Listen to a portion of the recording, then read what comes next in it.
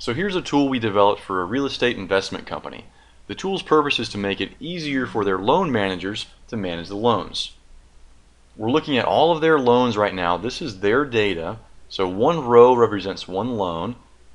It looks like we have about 400 loans that they're managing and a whole bunch of columns associated with each loan. We're all the way out here at column number HA. That's 209 pieces of data associated with one loan. So their loan managers are changing information for each of these loans every day, and you can imagine how cumbersome that may be with all of the left to right scrolling that would be required. So they came to us to make this process easier, and this type of job is right in our wheelhouse because we really stress having a clean user experience with every tool that we provide. If the solution has powerful functionality but a burdensome or cumbersome user experience, that really devalues the solution as a whole. Every tool should be easy to use. So now let's get into the good stuff. I'll show you what we did to help them. We created this property analysis tab. This is a brand new sheet that we added to their existing workbook and you can see that it just organizes information. We're looking now at their property on Cherry Lane and you can see that what we did is just create an excerpt of their short sale information, foreclosure information, property information.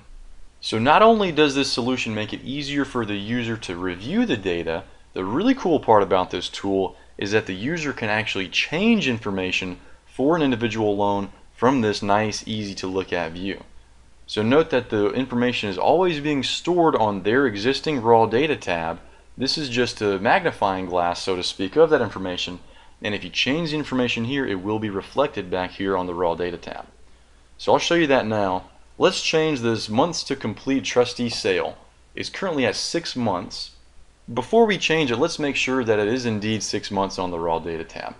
If I click this button, it'll take us back to the raw data tab and highlight the property on Cherry Lane. So here we are, it's highlighted row number 163. We are indeed on Cherry Lane. I've shrunk the text for privacy purposes, but this is the right property. Now let's go over and check out the foreclosure months to trustee sale.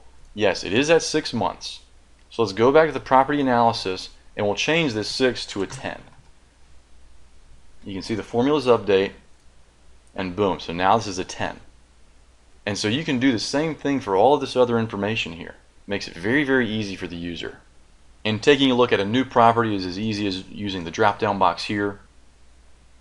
Or what you can do is go back to this tab and alt click on a cell in another row and it'll show you that piece of property. So that wraps up this tool. This is a small process management tool. I think it only costs 12 or $1,300 and the value it provides is really big. And if you take a look at the next video, I'm going to talk about the agile development model we used in creating this tool.